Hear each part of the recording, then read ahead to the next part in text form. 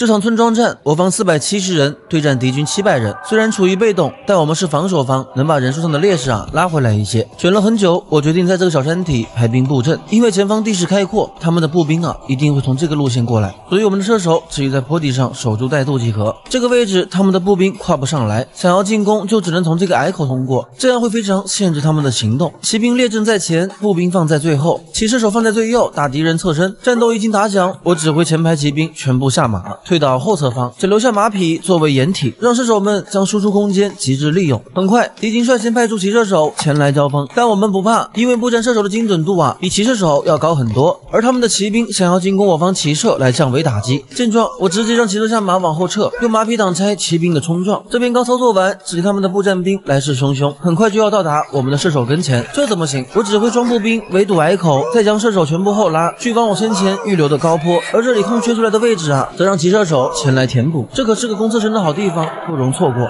双方的大战一触即发。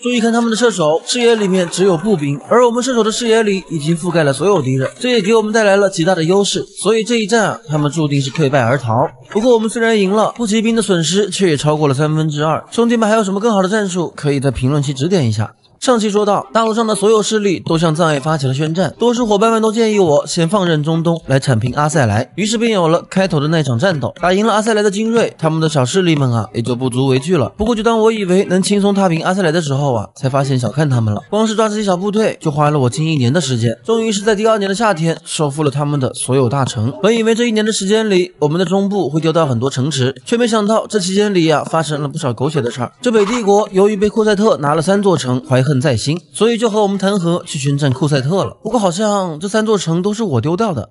我操！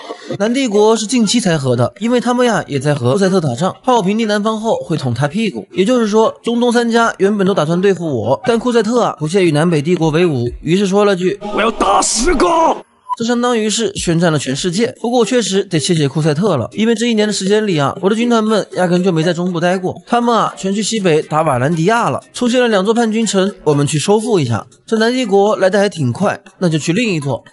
有情况啊，兄弟们，库赛特正在攻城，机会来了呀！哦。